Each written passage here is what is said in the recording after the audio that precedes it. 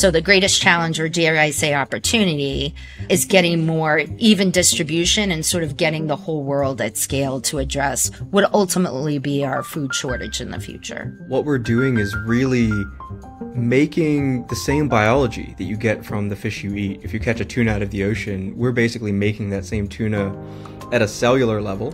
What we're doing is growing a cell of an animal instead of growing the whole animal. I really do think we have to uh, evolve to an ecosystem mentality where the value pool for what I'm trying to do in the future could come from a variety of different places. And so we need to come up with, best estimates say, roughly 70 million tons of new production by 2050 to meet the projected demand. 70 million tons is roughly a third more fish production per year than we make today. So it's a huge supply gap. If we start reimagining that I don't need land, for example, and I don't need the traditional vehicles by which I produce food, well, now, can you imagine that? That footprint can be anywhere. To hear more, find this episode of PwC's Take on Tomorrow on your favourite podcast platform or head to pwc.com forward slash take on tomorrow.